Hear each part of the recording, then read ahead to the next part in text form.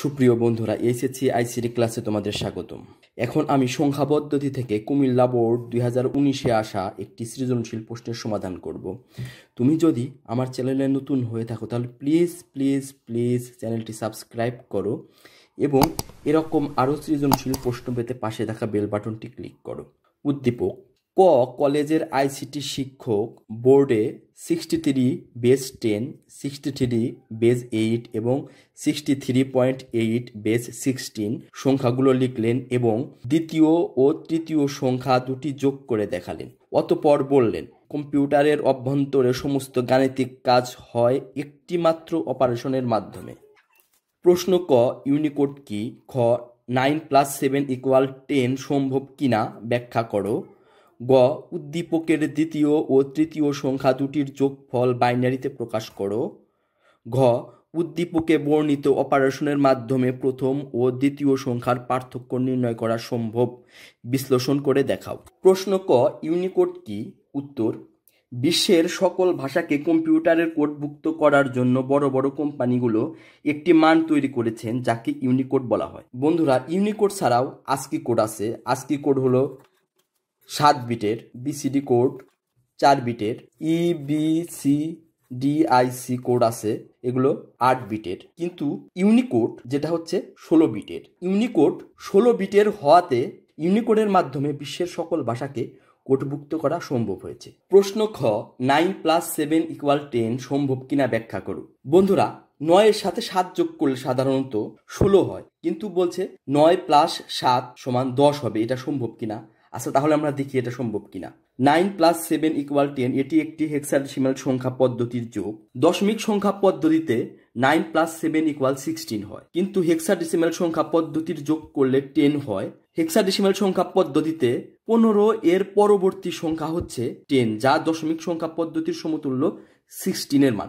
বন্ধুরা, নাইন এবং সেভেন দুইটা যদি দশমিক সংখ্যা হতো, তাহলে হতো হচ্ছে সিক্সটিন আর দশমিক সংখ্যায় সিক্সটিনের আগের সংখ্যা হচ্ছে ফিফটিন আমরা যদি হেক্সাডেসিমালের ক্রমিক সংখ্যাগুলো দেখি, তাহলে ফিফটিন বা এফ এফ এর পরে ওয়ান জিরো আছে। তাই nine plus seven equal ten এটা সম্ভব যদি সেটা হেক্সাডেসিমাল সংখ্যা হয়। প্রশ্ন গ, উদ্দীপকের দ্বিতীয় ও তৃতীয় সংখ্যা দুটির যোগফল বাইনারিতে প্রকাশ করো। বন্ধুরা, আমরা যদি উদ্দীপকটা দেখি, তাহলে উদ্দীপকের দ্বিতীয় সংখ্যা হচ্ছে সিক্সটি থ্রি এইট এবং উদ্দীপকের তৃতীয় সংখ্যা হচ্ছে সিক্সটি থ্রি পয়েন্ট এইট দ্বিতীয় সংখ্যাটি যেটা অক্টালে আছে এবং তৃতীয় সংখ্যাটি যেটা হেক্সাডেসিমালে আছে। তো বন্ধুরা, প্রশ্নে বলেছে দ্বিতীয় ও তৃতীয় সংখ্যা দুটির যোগফল বাইনারিতে প্রকাশ করো। তো বন্ধুরা, প্রথমে দ্বিতীয় সংখ্যা সিক্সটি থ্রি এইট যেটা অক্টালে আছে, এটাকে আমরা বাইনারিতে নেব। তারপর সিক্সটি থ্রি পয়েন্ট এইট যেটা হেক্সাডেসিমালে আছে, এটাকে আমরা বাইনারিতে নেব। তো দ্বিতীয় সংখ্যা সিক্সটি থ্রি এইট যেটা অক্টালে আছে, এটাকে আমরা বাইনারিতে প্রকাশ করব। তো অক্টাল থেকে বাইনারিতে প্রকাশ করার জন্য তিন বিট বাইনারিতে নিতে হয়। সিক্স থ্রি প্রথমে সিক্সকে তিন বিট বাইনারিতে নেব, তারপর থ্রিকে তিন বিট বাইনারিতে নেব, তারপর পাশাপাশি লিখব।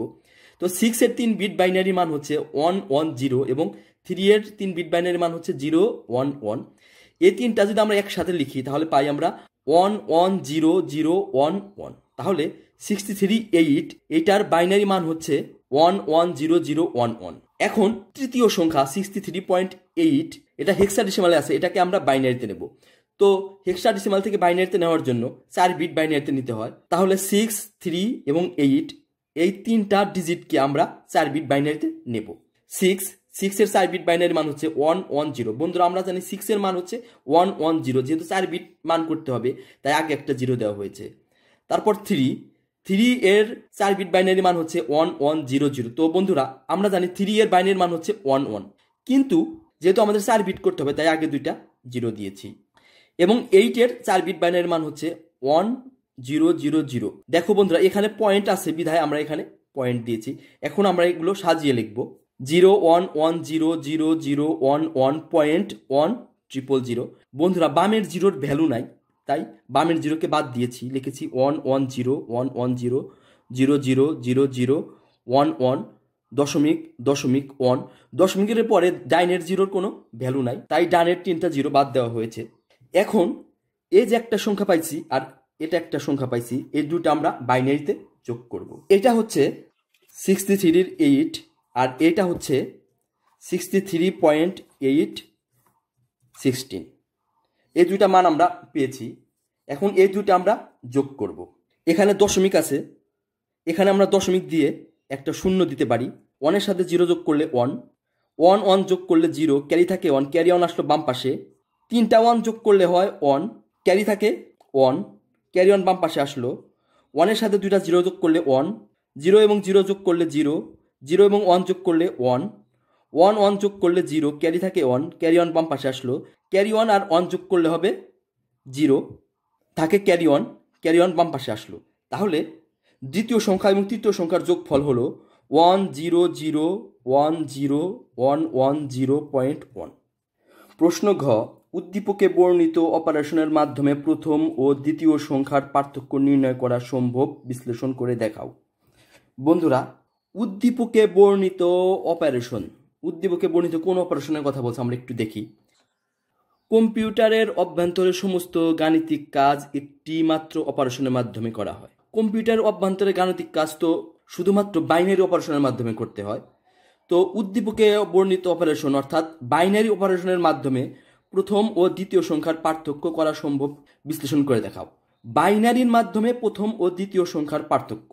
আমরা প্রথম সংখ্যা দেখতে পাচ্ছি সিক্সটি থ্রি টেন এবং দ্বিতীয় সংখ্যা হচ্ছে সিক্সটি থ্রি এইট প্রথমটা আছে দশমিকে এবং দ্বিতীয়টা আছে অক্টালে এই দুইটি সংখ্যার পার্থক্য বাইনারির মাধ্যমে শুধুমাত্র দুই এর পরিপূরক পদ্ধতির মাধ্যমেই করা যাবে। তাহলে আমাদের প্রশ্নটি দাঁড়াচ্ছে, দুই এর পরিপূরক পদ্ধতির মাধ্যমে সিক্সটি থ্রি টেন ও সিক্সটি থ্রি এইট এর পার্থক্য নির্ণয় করা সম্ভব কিনা দেখাও।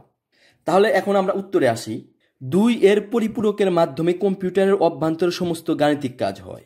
নিচে প্রথম ও দ্বিতীয় সংখ্যার পার্থক্য দুই এর পরিপূরকের মাধ্যমে বিশ্লেষণ করে দেখানো হলো। প্রথম সংখ্যাটি আছে দশমিক সংখ্যায় এবং দ্বিতীয় সংখ্যাটি আছে অক্টাল সংখ্যায়। তো প্রথম সংখ্যাকেও আমরা প্রথমে বাইনারিতে রূপান্তর করব এবং দ্বিতীয় সংখ্যাকেও আমরা বাইনারিতে রূপান্তর করব। তাহলে সিক্সটি থ্রি এটাকে আমরা বাইনারিতে রূপান্তরিত করি। দশমিক সংখ্যাকে বাইনারিতে রূপান্তর করার সময় উক্ত সংখ্যাকে ক্রমাগত দুই দ্বারা ভাগ করতে হয়, কারণ বাইনারি বেজ হচ্ছে দুই। তাহলে আমরা তেষট্টিকে আমরা দুই দ্বারা ক্রমাগত ভাগ করতে থাকব। তেষট্টিকে যদি আমরা দুই দ্বারা ভাগ করি, তাহলে ভাগফল হয় থার্টি ওয়ান এবং ভাগ শেষ হয় ওয়ান থার্টি ওয়ানকে যদি আমরা টু দ্বারা ভাগ করি, তাহলে ভাগফল হয় ফিফটিন এবং ভাগ শেষ হয় ওয়ান ফিফটিনকে যদি আমরা টু দ্বারা ভাগ করি, তাহলে ভাগফল হয় সেভেন এবং ভাগ শেষ হয় ওয়ান সেভেনকে যদি আমরা টু দ্বারা ভাগ করি, তাহলে ভাগফল হয় থ্রি এবং ভাগ শেষ হয় ওয়ান এই থ্রিকে যদি আমরা টু দ্বারা ভাগ করি, তাহলে ভাগফল হয় ওয়ান এবং ভাগ শেষ হয় ওয়ান এবং এই ওয়ানকে যদি আমরা টু দ্বারা ভাগ করি, তাহলে ভাগফল হয় জিরো এবং ভাগ শেষ হয় ওয়ান কেননা ওয়ানকে আমরা টু দ্বারা ভাগ করতেছি ওয়ান ছোট টু বড়।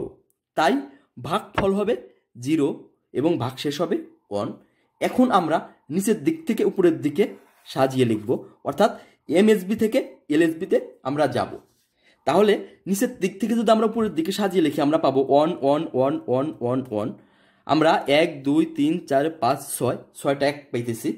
তাহলে সিক্সটি থ্রি টেন অর্থাৎ তেষট্টি এর বাইনারি ভ্যালু হচ্ছে ছয়টা অন এখন বন্ধুরা, উদ্দীপকে বর্ণিত দ্বিতীয় সংখ্যা হচ্ছে sixty three eight sixty three এইটকে প্রথমে আমরা দশমিকে নিব। তারপর এই দশমিক মানকে আমরা বাইনারিতে নেব। সিক্সটি থ্রি এইট এর দশমিক মান হচ্ছে ফিফটি ওয়ান টেন এখন এই ফিফটি ওয়ানকে আমরা বাইনারি সংখ্যায় রূপান্তর করব।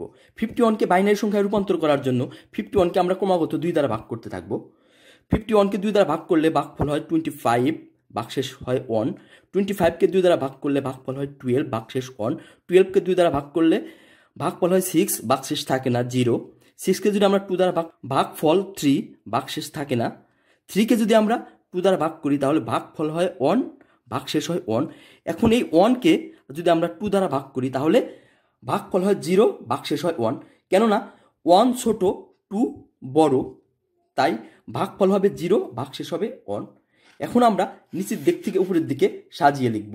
তাহলে হবে one one zero zero one one তাহলে সিক্সটি থ্রি এইট এর দশমিক মান হচ্ছে ফিফটি ওয়ান ফিফটি ওয়ানের বাইনারি মান হচ্ছে one one zero zero one one sixty three ten এটাকে আমরা বাইনারিতে রূপান্তর করেছিলাম, যার মান হয়েছিল ছয়টা এক, তো আমরা আট বিট রেজিস্টারের সিক্সটি থ্রি এর বাইনারি মান নেব। কারণ আমরা দুইয়ের পরিপূরক পদ্ধতি এর মাধ্যমে আমরা বিয়োগ করব। দুইয়ের পরিপূরক পদ্ধতির মাধ্যমে বিয়োগ করতে হলে আট বিট করে নিতে হবে। তাই, যেহেতু আমাদের ছয় বিট আছে, তাই আট বিট পূরণ করার জন্য বামে আমরা এক্সট্রা দুইটা বিট যোগ করব।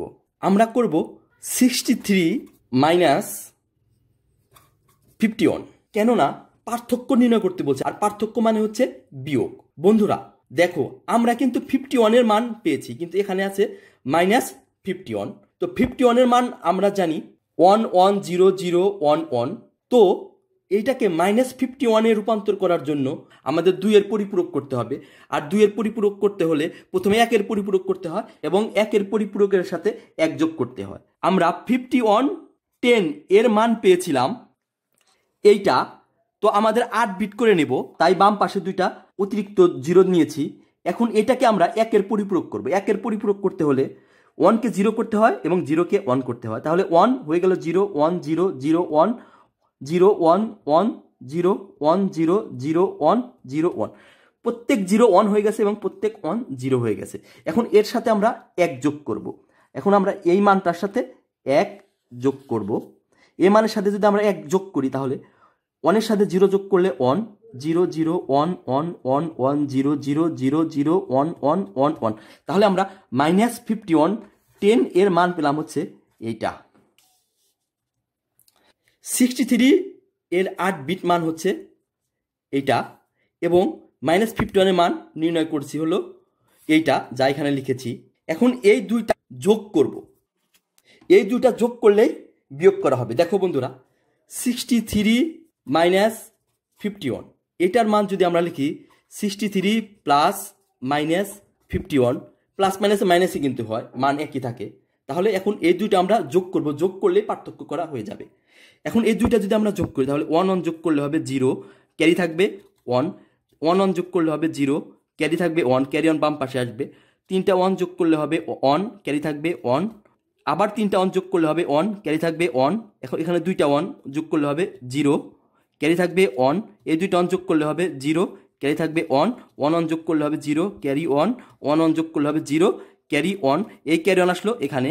আমাদের রেজিস্টার ছিল আট বিটের এখন মোট বিট কয়টা হয়েছে দেখি। এক, দুই, তিন, চার, পাঁচ, ছয়, সাত, আট, নয়। নয় বিট হয়েছে। যেহেতু আমাদের রেজিস্টার আট বিটের আর যোগফল হয়েছে নয় বিটের আমাদের সর্ববামের যে বিটটা আছে, ওই বিটটা আমরা বাদ দিয়ে দিব। তাহলে হবে হচ্ছে zero zero zero zero, one one, zero zero.